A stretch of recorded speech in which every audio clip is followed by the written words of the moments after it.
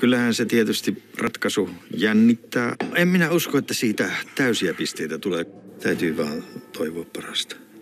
Siinä on tuota kampasimpukoita, mustia torvisieniä kahdella tapaa, maa-artisokkaa, uunissa pahdettuna ja sitten sitruuna simpukoiden kanssa. I'm not gonna lie, it's got a lot of expectation behind it.